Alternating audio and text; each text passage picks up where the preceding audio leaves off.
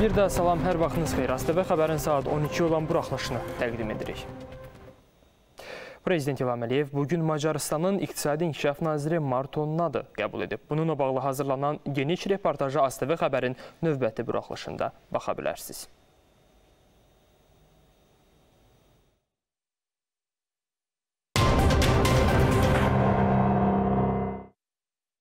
Ötən gün saat 15-dən bu gün gecə saat 3-10-a dək Azərbaycan ordusunun mövqeləri 19 dəfə atəşə tutulub. Ermənistan Silahlı Qüvvələrinin bölmələri Basar Keçər rayonunun Günəşli, Aşağı Şoruca, Əzizli, Zərkənd, Yuxarı Zağalı yaşayış məntəqələri və Çəmbərək rayonu istiqamətlərində yerləşən mövqelərindən ordumuzun Daşkəsən rayonunun Astaf, Kəlbəcər rayonunun Yellicə, Molla Bayramlı, Yuxarı Ayrım və Gədəbəy rayonunun Göyəlli yaşayış məntəqələrində yerləşən mövqelərini müxtəlif çaplı atıcı silahlı silahlardan və minatanlardan fasilələrlə atəş edib. Bundan başqa Rusiya sülh məramlı kontingentinin müvəqqəti yerləşdiyi Azərbaycan ərazisindəki qeyri-qanuni erməni silahlı dəstələrinin üzvləri ordumuzun Şuşa şəhəri istiqamətində yerləşən mövqelərini də atəşə tutublar. Azərbaycan ordusunun bölmələri tərəfindən cavab tədbirləri görülüb. Məlumatı Müdafiə Nazirliyi yayıb.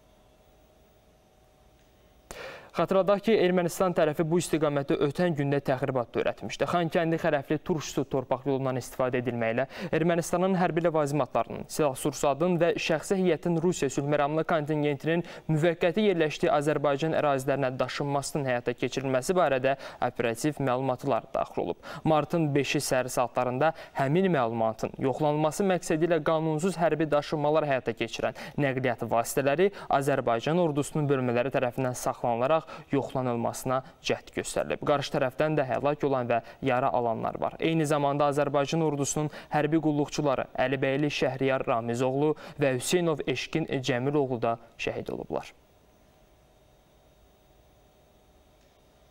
Şəhid olan hərbi qulluqçular 29 yaşlı baş leytinant Şəhriyar Əlibəyli və Eşkin Hüseynov bugün dəfn olunurlar. Baş leytinant Şəhriyar Əlibəyli ilə vida mərasimi keçirilib. Şəhidimiz Bakıdakı 2-ci fəxri xiyabanda torpağa tapışırılıb. Hərbi qulluqçu Eşkin Hüseynov isə Tovuz rayonunun Hunanlar kənd sakini olub, onun nəşi doğulduğu kənddə dəfn olunacaq. Allah şəhidlərimizə rəhmət eləsin.